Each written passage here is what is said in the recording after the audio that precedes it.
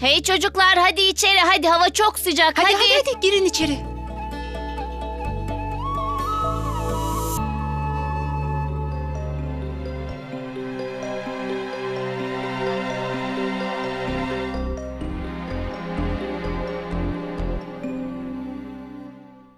Tina.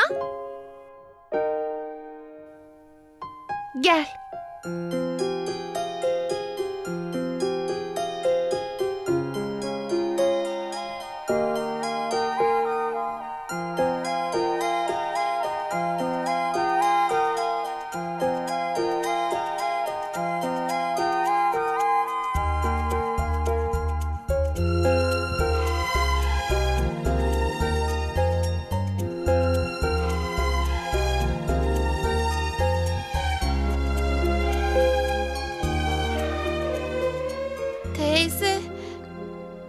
Ama sıkışıp kaldı.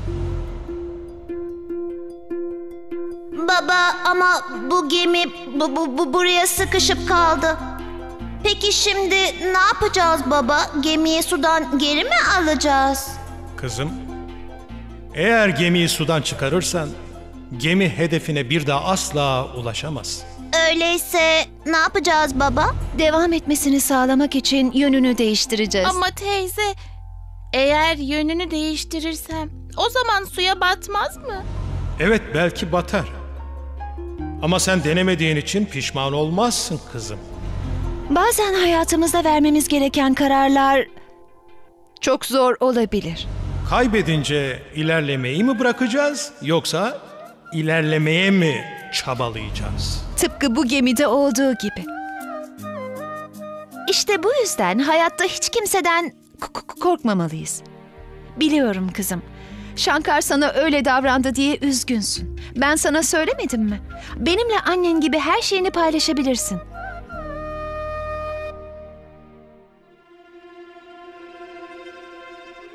Hadi söyle. Şey, teyze, benim yazdığım o mektup vardı ya. Orada Tina!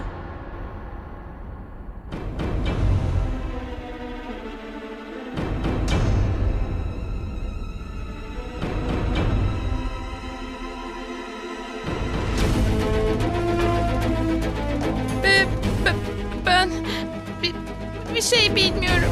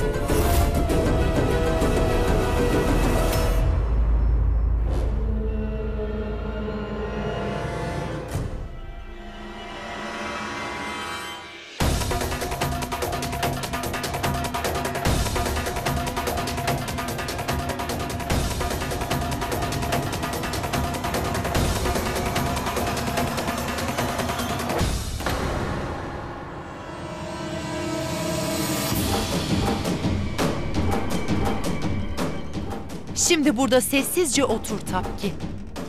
Sana ağır bir sakinleştirici verdim ki saatlerce uyanmayasın. Hadi bakalım. Şimdi Şankar'la Biha'nın törenini engelle de görelim. Çok zekisin ya Tapki. Bana, bana meydan okursun öyle mi? Şadaya. Şimdi görürsün.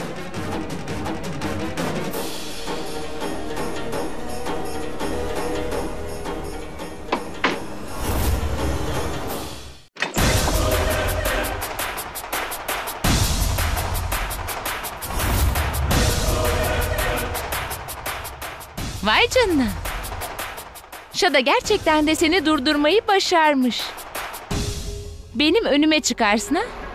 Eğer şimdi bu uyanırsa kesin yine bir şeyler yapacaktır.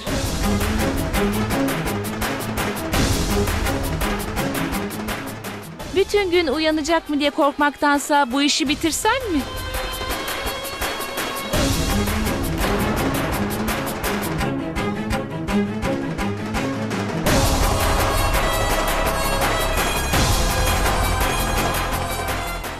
Ben gidip bunu Şada'ya sorayım.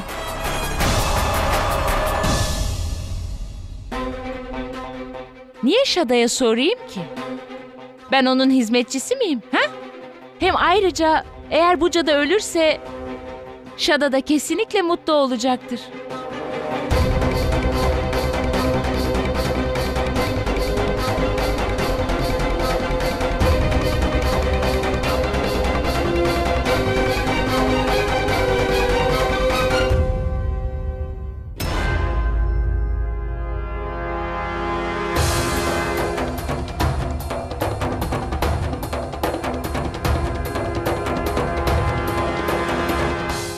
Şankar!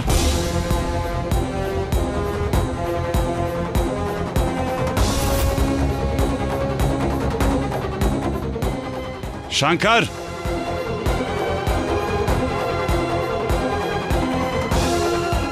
Şankar!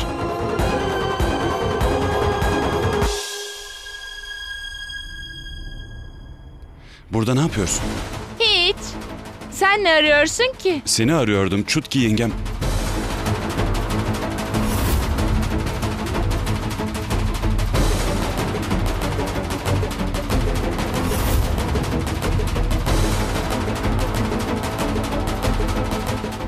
Tina!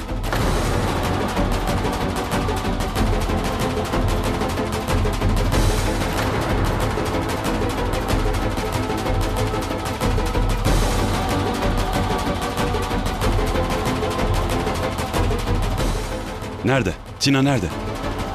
Burada yok. Ha, sanırım az önce içeri girdi. O zaman sen şimdi içeri git. Ben de burada biraz güneşte oturayım. Tamam.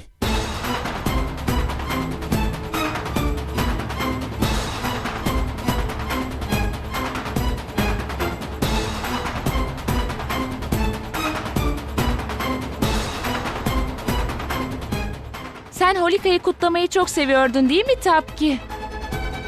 Bak şimdi. Ben senin Holika kutlamanı nasıl bozuyorum? Hem zaten artık hiçbir şeyi kutlayamayacaksın.